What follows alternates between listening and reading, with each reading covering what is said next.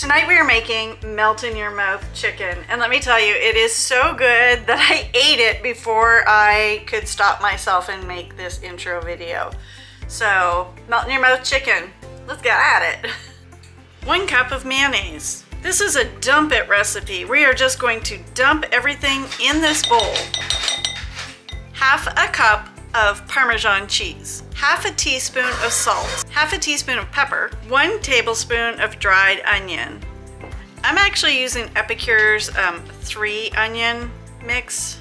I love it, it's super flavorful. One tablespoon of dried parsley and one teaspoon of garlic powder. And we're just gonna mix this all up. I have two chicken breasts, which I have already patted dry, and they are just sitting in the pan. I don't have any oil in this, but this is a blue steel pan, and it's not gonna stick to it. If you have a uh, container that maybe is might stick, then you might wanna put a little bit of oil underneath.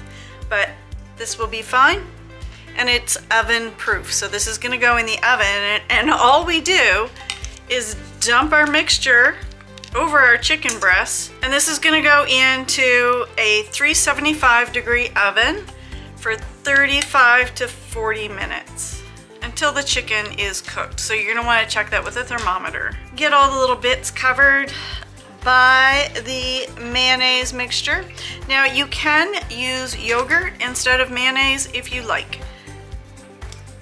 I have mayonnaise, so that's what I used. That's it. It's gonna go into the oven just like this. I'll catch you back in a few minutes.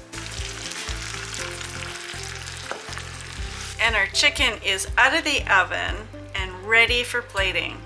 Okay, my friends, so let's give this a try. So this is the melt in the mouth, your mouth chicken. It is so tender and juicy. Hot, hot. As always, I need to learn to take smaller bites. Oh my goodness, this is so delicious. It's juicy, it has tons of flavor. It was so easy, like it was so easy.